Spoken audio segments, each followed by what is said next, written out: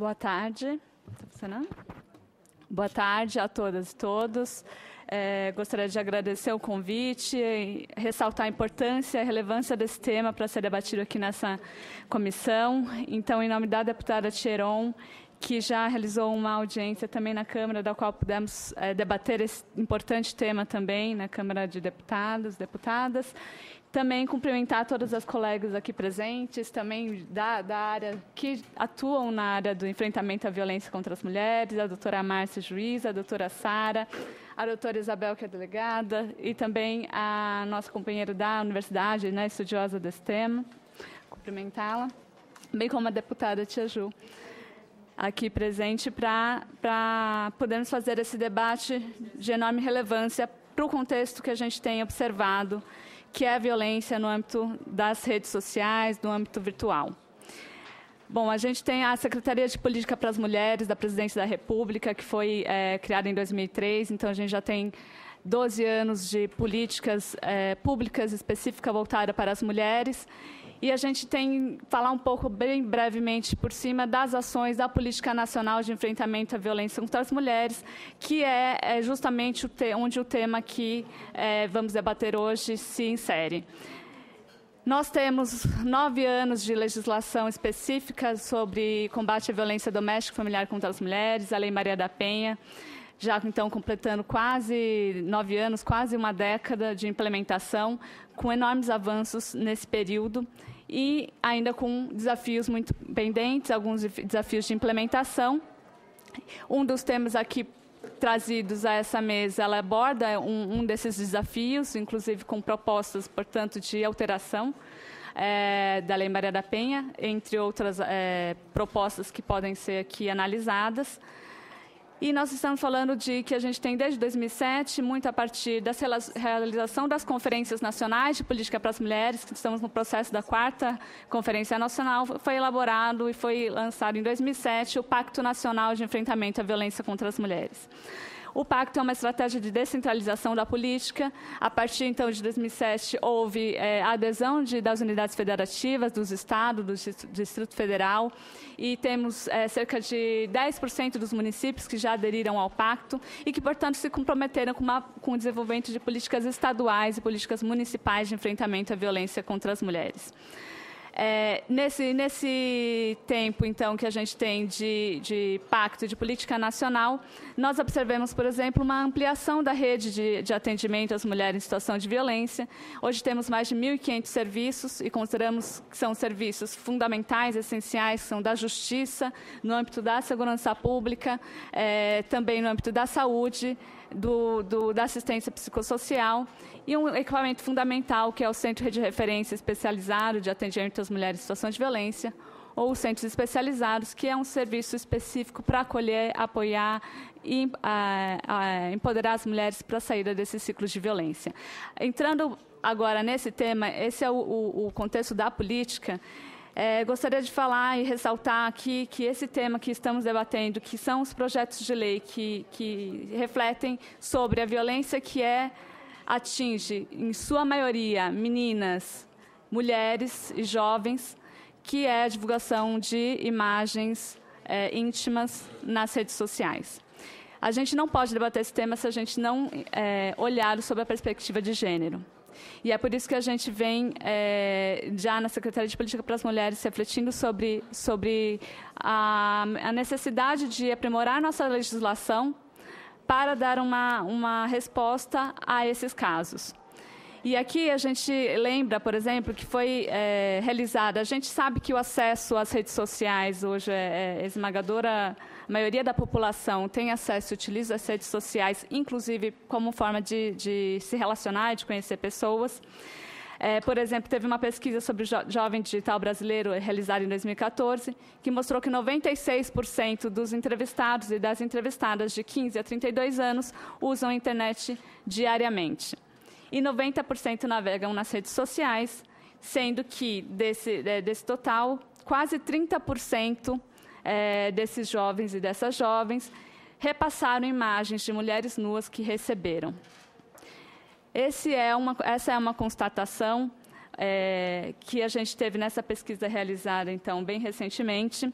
Tem outros dados, outras pesquisas que também já identificaram isso. Eu vou é, citar algumas informações que foi feita de uma, uma pesquisa é, de uma empresa de segurança online que revelou que 66% das mulheres e 57% dos homens enviam conteúdo íntimo por celular, tablet ou computador.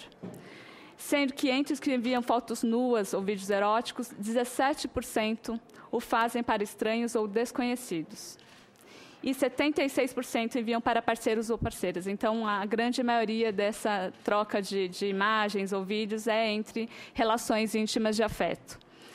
É, desses 76% que então trocam esses, esse, essas imagens, 91% acreditam que o conteúdo não será vaziado, por razões mais que óbvias, é uma relação de confiança ali, é uma relação de afeto. Mas quando o relacionamento termina, 75% pede que é, o ex-namorado, o ex-companheiro apague esse registro, apague esse conteúdo. O que a gente tem visto que infelizmente não tem acontecido e que ocorre é a divulgação dessas imagens íntimas, especialmente de mulheres. E por que a gente fala que existe esse fenômeno da pornografia de vingança?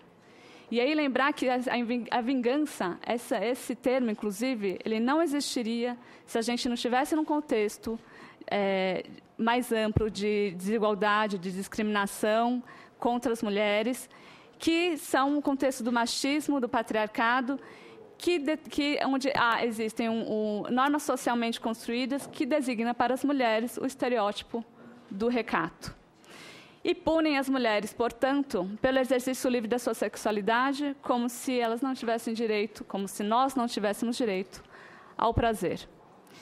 Isso, portanto, se a gente for é, avaliar sobre essa perspectiva de gênero, não existiria essa vingança, como não existe no caso, quando essas imagens são divulgadas de homens, porque não existe esse apelo, essa questão da moralidade sobre a sexualidade dos homens. Então, para eles ter uma foto íntima divulgada, no primeiro das redes sociais não é motivo de julgamento moral, como é no caso é, das meninas e das mulheres. Então, a gente precisa olhar para esse fenômeno com esse pano de fundo do controle moral e sexual da vida das mulheres. E a rede social, como é a questão da violência contra as mulheres em geral que ela está presente em diversos âmbitos, embora a gente saiba que o âmbito é, íntimo de afeto, as relações é, domésticos familiares, hoje a gente tem muito mais visibilidade a esse fenômeno, e é isso graças à Lei Maria da Penha também. A violência contra as mulheres está presente em diversos âmbitos. No trabalho, né, nas relações de trabalho, na, nas, nos espaços públicos, espaços que, de, de coação, de, de assédio, e também e com, com as redes sociais e o amplo uso dessa ferramenta, a violência também está presente ali. E os homens, esses jovens, é, homens adultos, adolescentes, infelizmente têm feito esse uso, é, desrespeitando, portanto, é a, o consentimento, porque independente do consentimento, a questão é a divulgação da imagem não é feita com o consentimento das meninas e das jovens ainda que no momento do, desse registro tenha havido consentimento, porque isso em si não é nenhum problema. Então, a gente tem que deixar bem claro que aqui a gente está falando desse contexto de preconceito, de machismo, que deixam, estipulam um lugar e que, justamente por esses estereótipos de gênero, é que existe esse fenômeno de, é, de condenar, de condenar as meninas e as mulheres que fazem esses registros, que participam simplesmente porque estão exercendo livremente a sua sexualidade. É então nessa perspectiva que a gente tem que refletir sobre esse, esse tema. Nós temos aqui é, já vários projetos nessa, no âmbito da, dessa casa, da, da Câmara, diversos projetos que têm se debruçado sobre isso. E aqui o que a gente, a Secretaria de Política para as Mulheres, gostaria de enfatizar é a importância de deixar destacar o que as meninas, as mulheres, existe uma perspectiva de gênero que é fundamental e marcante nesses crimes. Na violação da, da sua intimidade, na violação da dignidade. Isso é muito importante transparecer, que isso fique, é, que isso conste nessa, nessas propostas de alteração, seja do Código Penal, seja da Lei Maria da Penha.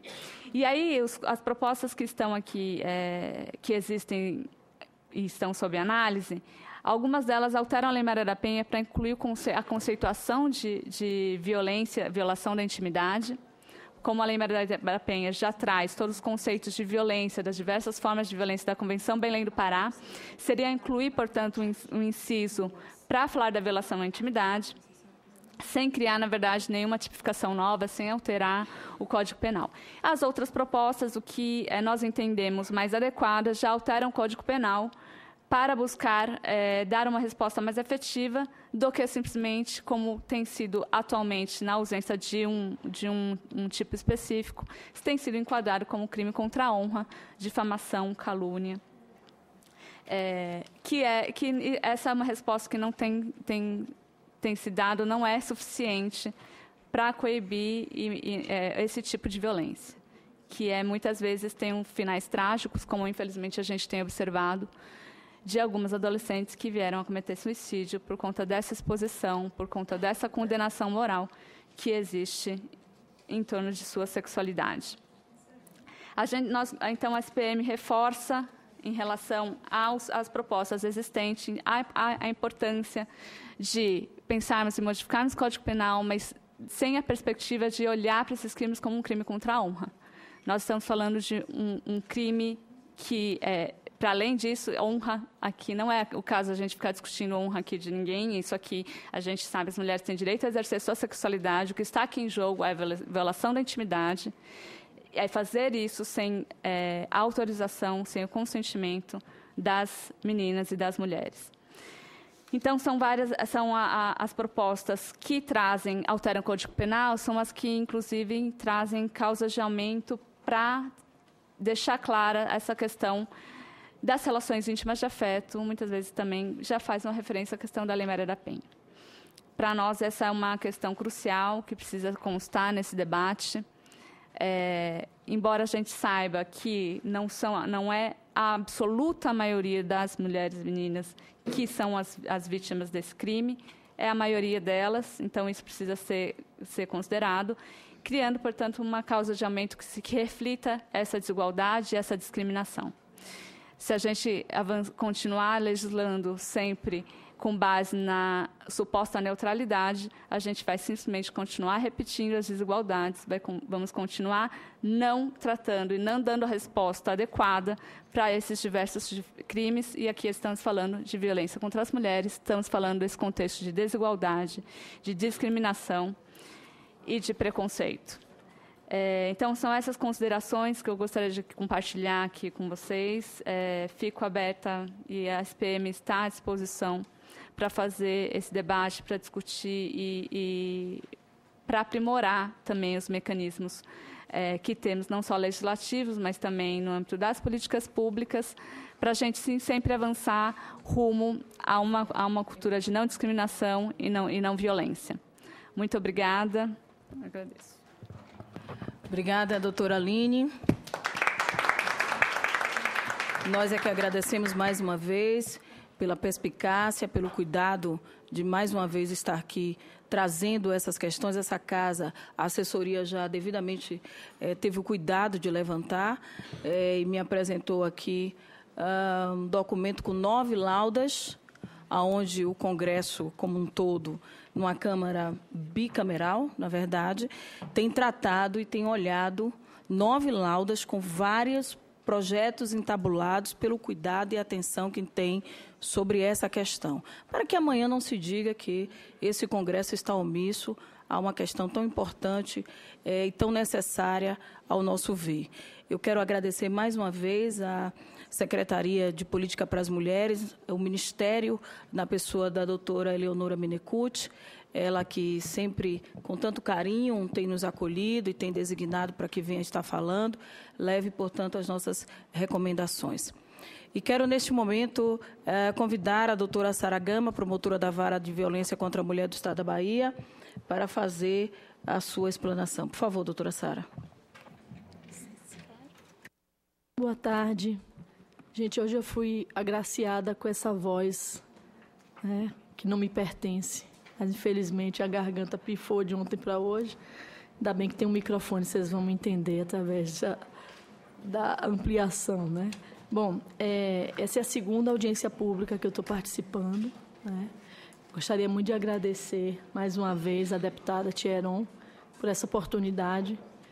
Para nós que operamos com o direito, que lidamos com o direito, que lidamos com a Lei Maria da Penha, é algo inédito trabalhar em casas que elaboram leis. A gente está muito acostumado, como eu já falei né, da outra vez, acostumado a lidar com a lei pronta para ser aplicada. A, a, o, a, elaboração da lei é outro processo completamente inédito para nós e que eu acho que essa, essa perspectiva de unirmos as nossas experiências, ela só traz vantagem para a população feminina do nosso país. Né? Através, o que eu falo aqui, eu falo através de uma experiência adquirida ao longo de oito anos, desde que eu me tornei promotora de justiça titular da primeira promotoria de combate à violência doméstica contra a mulher do estado da Bahia. Então, vim adquirindo bastante experiência. Infelizmente, experiências muito negativas, porque os números que nós temos no país são assustadores. Todos nós conhecemos muito bem o que acontece. A capital da Bahia, é, infelizmente, na, na questão do feminicídio, nós temos também números assustadores. Então é preciso que a gente mude. A perspectiva de mudança ela se faz urgente. Pegando aqui um pouquinho do gancho que a Aline falou, ela, ela fala muito assim da resposta que nós estamos dando. O que é que nós estamos fazendo com essas mulheres? Qual é a resposta que o sistema de justiça está dando a essas mulheres? Então, eu elaborei um, um, uma apresentação aqui para vocês. Na verdade, essa apresentação é uma adaptação de uma apresentação que eu já tenho feito no estado da Bahia, né, e fiz no Rio de Janeiro também, é, voltado tanto para o público de profissionais do direito, como também nas escolas, tal, porque é uma forma bastante singela da gente observar o que é está acontecendo. Acabei acrescentando um pouquinho mais de coisas, Tieron, porque da, da outra audiência para cá eu já tive outras novidades, né? algumas coisas que vieram. Por exemplo, hoje eu fui surpreendida com a notícia aqui no interior da Bahia, dois garotos, um de 18, outro de 17 anos, estupraram uma menina de 14 anos e filmaram essa, esse estupro. E para a gente ter uma noção de quanto a vida da gente hoje está conectada, de quanto a gente depende de rede, de quanto a gente vivencia a nossa vida real e a nossa vida virtual, é, talvez até reputo a, a imaturidade desses garotos, é, o fato é que eles filmaram e juridicamente a gente sabe, né? Eles produziram provas contra si próprios, né? E o que é que acontece? E aí depois de, dessa filmagem de uma violência, uma humilhação para uma menina de 14 anos, eles passaram a chantagear essa menina, querendo que ela voltasse a sair com eles, sob pena de divulgar essas imagens. A menina se recusou, eles divulgaram. O maior de idade está preso e o outro está à disposição da Justiça Menoril. Ou seja, a gente não pode hoje ignorar que o mundo virtual faz parte da nossa vida. Mesmo que você não tenha um perfil no Facebook, mesmo que você não acesse um WhatsApp, ainda assim, todos nós estamos nesse contexto porque eh, quem quiser tiver curiosidade, basta colocar o seu nome num, num, site desse de, de, busca, que você vai ver lá a sua imagem, vai dizer o que é que você faz. Ou seja, ainda que você não esteja fornecendo, fomentando aquelas informações, elas estão aí para todo mundo ver. Então a gente tem que ter esse olhar bastante é, acurado, um olhar que a gente tenha principalmente nessa questão de gênero, porque 80% das vítimas são mulheres. A cada 10 imagens postadas com que tem uma, uma, uma, alguma coisa voltada a sexo, seja ela pornográfica ou não, às vezes apenas a nudez, mas de 10 imagens, 8 são de mulheres. Então a gente não pode ignorar isso. É uma perspectiva realmente de gênero, tem que ser abordada sob essa ótica. Bom, por favor, Gabriela, né? Velha, por favor. É, bom, gente, a gente conhece, né? Caiu na rede, como é que se diz? É peixe, né? Hoje caiu na rede, a gente já não tem mais controle de nada. Sabe Deus o que é que acontece quando cai na rede, né? Por favor. Aqui tem uma definição atual do que, que eles entendem como crimes telemáticos, né, que são aqueles praticados com o uso da informática em ambiente de rede que ofendem direto ou indiretamente a segurança informática através de um de seus elementos, a integridade, a disponibilidade e a confidencialidade. É importante que a gente saiba que hoje o maior número de crimes cometidos na internet não são os crimes né, a, a, vingança pornográfica como a gente está tratando aqui, mas são os crimes de é, contra a, a, atividade bancária, ou seja, cartões de crédito, fraude, de entrar na conta, invadir conta, de pegar. Esses são os maiores. Os segundos são justamente esse enfoque que a gente está dando. Crimes praticados contra as mulheres na internet. Então, é, são coisas assim que realmente é um número bastante relevante. Por favor, cybervingança, pornografia de vingança, né? pode ser definida como compartilhamento de fotos e vídeos íntimos pela internet sem autorização de todos os envolvidos com o propósito de causar dano às vítimas, geralmente mulheres. Vai passando, por favor, Gabriela. Aí tem mais uma, dê um cliquezinho. Pronto. Uma pesquisa realizada em 2010 pela organização britânica Internet Watch Foundation analisou cerca de 12 mil fotografias com conteúdo sexual amador na web e concluiu que cerca de 88% dessas imagens foram produzidas em casa, tendo como autores os próprios modelos e acabaram sendo hospedadas em sites fora do computador de origem, não necessariamente com autorização das fotografadas. A maioria delas não eram profissionais ligados ao sexo, como prostitutas e atrizes pornôs. Ou seja, a grande maioria das imagens que estão sendo é, divulgadas hoje são de pessoas que não têm nenhuma vontade, às vezes foi uma coisa que foi projetada apenas para um momento e para uma pessoa específica e acaba caindo no mundo, né? Quem são as vítimas? Mulheres de todas as idades, principalmente as mais jovens, sendo a maioria delas adultas. Mulheres que se deixaram fotografar ou filmar em nome do amor e para apimentar um relacionamento. Às vezes elas entendem como uma forma de dar segurança àquela relação, né? Aquela como se fosse uma demonstração de confiança. Então eu vou me fotografar, vou permitir, vou passar para o meu amante, meu namorado, meu amigo, seja lá o que for, e acaba se perdendo é, o controle sobre isso, né? Aí aquilo que eu falei, a cada 10 casos de investigação cerca de violação de fotos íntimas, apenas dois temos como vítimas homens.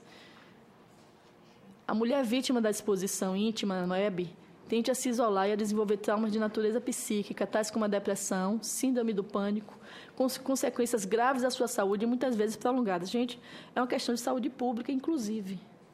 Já há né, uma tendência, mas a, a gente tem uma certa dificuldade, porque, por exemplo, quando nós vamos tipificar, eu como promotora de justiça, quando pego lá o inquérito, que eu vejo que uma mulher, ela está com síndrome de pânico, ela está assustada, ela não quer sair, ela largou o emprego.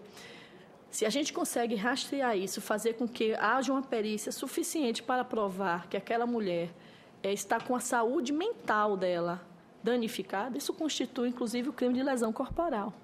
Porque a lesão corporal não é só física, mas também mental, não é? Mental, psíquica, emocional.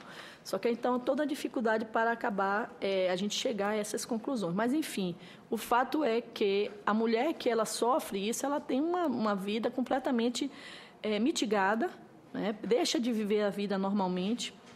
A gente vai ver ao longo desses, desses slides alguns casos, alguns depoimentos. Então, é, são coisas que realmente a gente tem que ter esse cuidado de, de observar essa mulher não com julgamento de o porquê, porque aí, como a Aline bem falou, aí não está em jogo a liberdade sexual dela. Se ela quiser expor, se ela quer mostrar para alguém, não cabe a nós né, questionarmos isso. Isso é uma coisa que eu, eu percebo muito. Ah, ela tá, aconteceu isso, mas por que, que ela fez? Por que, que ela permitiu?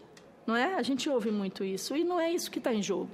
Não é o que está em jogo. O que está em jogo é alguém usar essas imagens para causar um prejuízo a essa mulher, e esse prejuízo não tem nada a ver, pelo menos no enfoque nosso da Lei Maria da Penha, não tem nada a ver com dinheiro. É um prejuízo à pessoa, aquela dignidade, a privacidade, aquele ser humano que se torna uma pessoa em frangalhos em virtude de não ter mais a sua privacidade preservada, em virtude de ter, é, enfim, mil, mil é, coisas que se ouve, que se fala a respeito daquela mulher por conta de uma imagem. Era só uma menina que a gente já teve esse exemplo, eu falei da, que nós já tivemos dois casos de suicídio, além dos problemas né, de saúde mental, nós já tivemos aqui uma no Rio Grande do Sul e uma no Piauí. Aliás, hoje à noite, uma emissora de TV vai passar uma reportagem a respeito desses crimes. Né? Acho que eu não sei exatamente a conotação, eu soube que eles tiveram, inclusive, conversando com o colega da Bahia, que é especializado nessa área de crimes cibernéticos, né, que eu não sou, diga-se de passagem. A minha vivência é com a Lei Maria da Penha e com o que eu venho trazendo de demanda de ver quantas mulheres batem as portas da justiça pedindo, clamando que a gente tente, de alguma maneira, mitigar o que está acontecendo com elas e hoje a gente não dispõe de uma legislação adequada. A violação das imagens íntimas é uma questão de gênero. Pois é, aqui, olha, nos comentários que geralmente acompanham as imagens, há sempre um tom jocoso de que ela quis ser filmada ou que é uma vadia.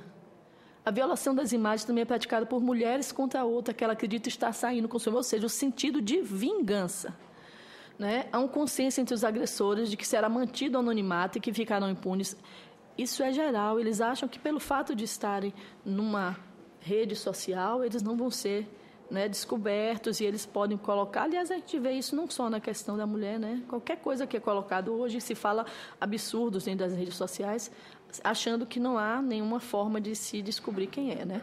O senso comum, é, as atitudes tomadas no meio virtual seriam menos graves. Para os autores dessas violações, trata-se de uma punição pelo término do relacionamento ou por ter a mulher supostamente o traído. E numa sala de bate-papo, isso aqui foi uma, uma, na Universidade de Maryland, eles fizeram essa pesquisa. Veja bem, ó, bate-papo virtual, um perfil feminino tem 25 vezes mais possibilidade de ser violado do que o masculino. Então não pode, a gente não pode de jeito nenhum quando a gente tratar disso aqui, a gente está evoluindo para chegarmos a uma legislação mais adequada. A gente não pode, em momento algum, esquecer que isso é uma questão de gênero. Para Rosemary Aquino, socióloga pesquisadora de relações de gênero da Universidade Federal do Rio Grande do Sul, são atitudes que ecoam os valores heteronormativos mais tradicionais, apenas com novas configurações. O acesso é diferente, não é diferente do homem lá da, da época dos nossos avós que mandava a cartinha anônima dizendo: olha, fulana não é mais virgem. Aquilo causava um rebuliço nas famílias. É? O sentimento de querer destruir, de querer desfazer daquela pessoa não é diferente do que acontece hoje. Apenas a gente tem é, a, a forma como a gente tem hoje de atuar é muito diferente, mais rápida e mais grave. Em 2012, o Instituto C Global Consult, em parceria com a organização Telas Amigas, entrevistou cerca de 2 mil pessoas, aqui foi no Brasil, com mais de 18 anos nas principais capitais do país. 66% possuem em seus computadores ou em algum dispositivo eletrônico fotos pessoais com insinuações de sexo. 66%. 39 já haviam espontaneamente enviado conteúdo sexual próprio ou de outra pessoa pela internet. E 63% já o haviam recebido. Passa, Gabriela. Bom, aqui foi uma imagem que o colega de Minas Gerais, o Mário Gusto, me cedeu, em que ele fala exatamente isso aqui, olha. Aquilo que eu comecei iniciando, caiu na rede. Isso, ó, localização física, localização geográfica, isso não interessa para a gente. Caiu, acabou. Né? Então, o que, é que a gente tem que fazer hoje? A gente tem que ter uma legislação que a gente consiga, é, de alguma maneira, coibir isso no nascedouro. Primeiro, que a gente já tem feito, isso aqui eu acho que serve, inclusive, que é divulgar a gravidade do que é isso, né? tentar conscientizar, sobretudo, as nossas gerações mais novas que lidam com essa questão de internet de redes sociais de uma forma muito natural. Para eles é a coisa mais é, é natural do mundo eles entrarem numa rede social, entendeu? E não tem, de, às vezes, é, a responsabilidade de saber o que é está sendo feito. Então, a gente precisa ter em mente essa situação. Aí aquela pergunta que a Aline fez. O ordenamento jurídico está habilitado a resolver os problemas advindos dessa potencializada virtual interconexão? Não, não está. Atualmente não está. Por quê? O que é que nossas leis oferecem? Os chamados crimes contra a honra, né, os artigos 138 a 140, calúnia, injúria e difamação, com penas muito pequenas de seis meses a dois anos, no caso de calúnia, de três meses a um ano, no caso de injúria, e de um a seis meses, no caso de difamação. Gente, você jogar uma imagem de uma menina de 16, 17 anos na internet, que você pode até fazer alguma coisa, de fazer com que o provedor tire, é, é, fazer com que o agressor seja punido, a gente pode até conseguir isso. Entretanto, se alguém fez o download daquela imagem lá na Conchichina e daqui a 10 anos quiser colocar de novo, coloca. Coloca. E a gente não tem hoje, eu digo, não é no Brasil não, não existe no mundo nenhum sistema né, que possa, de alguma maneira, tirar isso de, de, de rede. Não existe. Então, assim, é um prejuízo a pessoa que vive a vida inteira com a espada de Damocles na cabeça. É, não tem condições de viver uma vida mais normal a partir de então. Teve a lei Carolina Dickman, que eu vim até comentando. É uma lei, ela veio né, em face de ter sido é, roubadas as imagens da Carolina. Ali não havia conexão entre Carolina, a vítima, e o autor. É diferente dos nossos casos, com a roupagem da Lei Maria da Penha. Na nossa abordagem, o autor ele tem uma relação íntima com aquela mulher, ou teve. Né? Ele tem, ele conhece, então é uma abordagem completamente diferente. E temos o artigo 65 da Lei de Contravenções Penais, de 1938, gente. Perturbação da tranquilidade. Olha, eu não sei o que, é que eu ia ficar mais revoltada se alguém fosse condenado numa situação a pegar 15 dias ou dois meses ou multa por fazer uma coisa dessa ou se não houvesse condenação. Sinceramente, eu não sei o que, é que aconteceria, não, porque eu não vejo resposta. Com o que nós temos aí, para mim, a, a justiça não está dando resposta. Por favor. O que diz a Lei Maria da Penha? Bom, a gente tem abordado, né, quando a gente tem pego esses, essas questões, a gente está colocando com o artigo 7 segundo, violência psicológica. Porque entendida como qualquer conduta que cause dano emocional. Ninguém tem dúvida de que uma vítima de uma imagem na internet vai sofrer de um dano emocional, não é verdade? Alguém que não autorizou, que não quis ter sua imagem nua ou numa situação, num contexto de, de, de, de prática de sexo divulgada para o mundo inteiro, para quem quiser ver, isso não tenho dúvida de que é, é isso que a gente tem feito atualmente. Está né? Tá dando essa roupagem. Por favor, Mônica. Gabriela, né, que está passando? Desculpa, Gabriela. É, outra coisa, a violência moral, que é aquela que a gente, a gente vai se reportar aos crimes contra a honra do Código 1940, né? Enfim. Aí nós sabemos que hoje estão em trâmite esses projetos né? É, aqui, olha, o 6630 do deputado, que na época era deputado Romário, hoje é senador, a, o 673 da deputada federal Helene Lima, o 6831 do deputado federal Sandy Júnior e o 7377 do deputado federal Fábio Trade. Todos eles estão é, tendo como escopo a modificação do Código Penal, né? trazendo um tipo penal específico, colocando um artigo 216b para trazer para a realidade jurídica os crimes praticados na, em rede contra as mulheres. Né? Aliás, na verdade, quando se coloca isso, não está se colocando contra a mulher, fala-se de crime. Mas a, a, gente sabe que a prática vai ser abordar muito mais as vítimas mulheres do que os homens. Aqui, olha, isso foi um ensinamento do Mário ele falou para a gente como é que faz, né? Eu não entendo, como eu disse a vocês, eu sou promotora de justiça, não entendo nada de informática. Mas aí ele me deu essas dicas. Olha como é que tem, quais são as primeiras providências, ah, Isabel, isso aí na sua delegacia, não é? Tem que ser Pois é. Não apagar as imagens de imediato, deixando durar o tempo suficiente para levar o computador até uma delegacia ou cartório e mostrar a página e pedir uma certidão. A gente tem que ter prova, infelizmente ou felizmente, né? aliás, felizmente, né? pelo devido processo legal, a gente trabalha com provas. O que não está nos autos, a gente costuma dizer, não está no mundo. Então, para a gente fazer a comprovação disso, como é uma coisa muito rápida, então, quanto mais rápido a vítima tomar conhecimento e ela tomar essas providências, mais fácil vai ser para que a gente possa, de alguma maneira, né, é tentar abrir um processo e punir esse autor. Conseguir via judicial a quebra do sigilo de dados ou mandado de busca e apreensão do computador, aparelho com funções similares pertencentes, no caso iPads e celulares. E para ofensas dessa natureza, a repercussão jurídica acontece tanto nas áreas criminais, com aquilo que eu falei para vocês, como a gente poderia tipificar, como na civil, porque caso indenização por danos morais. Aí temos aqui agora o que a gente está discutindo, discutimos da outra vez, que é esse projeto de lei do deputado João Arruda, que é a relatora, a nossa deputada Tieron. Por favor.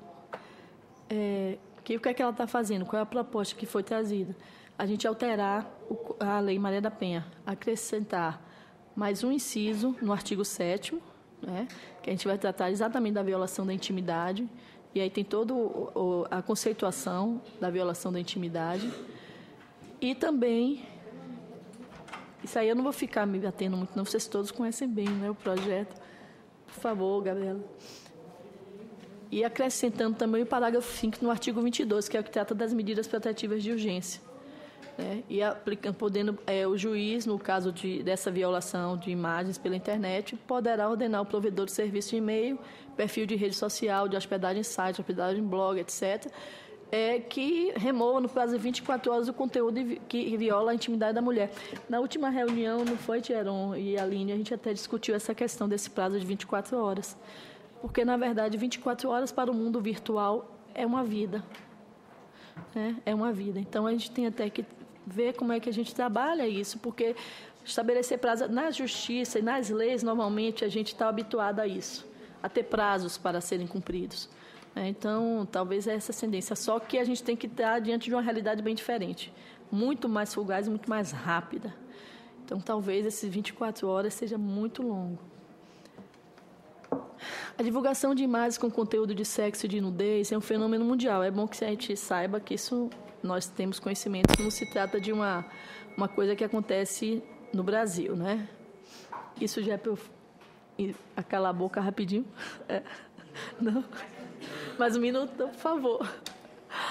Bom, é, então vou, vou, passar aqui rapidinho. A Aline já falou do, do, que da pesquisa da Avon, aqui eu trouxe só, mas a única coisa que eu queria trazer para vocês foi o seguinte, olha, aqui uma, foi feita uma outra pesquisa, uma, uma revista feminina, não, não foi nada uma pesquisa muito séria, mas o que mais me chamou a atenção foi dizer aqui, olha, mulheres, 8% das mulheres disseram que ainda que tivessem passado por uma situação similar, voltariam a fazer fotos nuas para o atual namorado.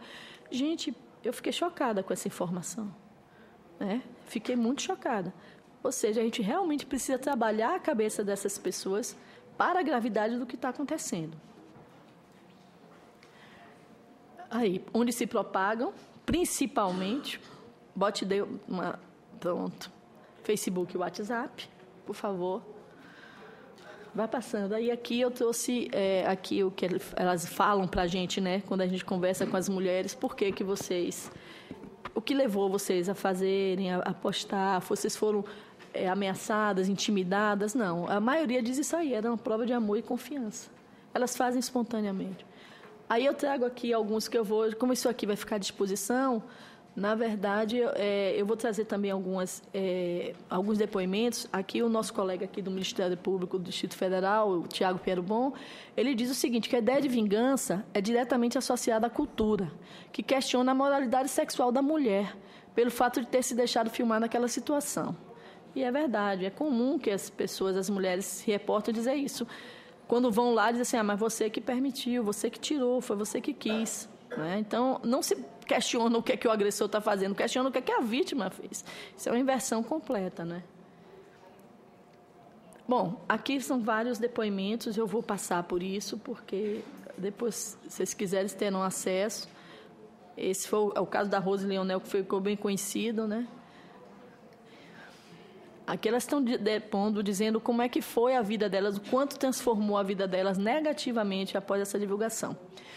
Olha bem, o, o colega de Minas Gerais, o Mário, ele me, me botou isso aqui que eu achei perfeito. Ele fala o seguinte, que a revolução, ela não acontece quando a sociedade adota novas ferramentas. E nós já adotamos novas ferramentas.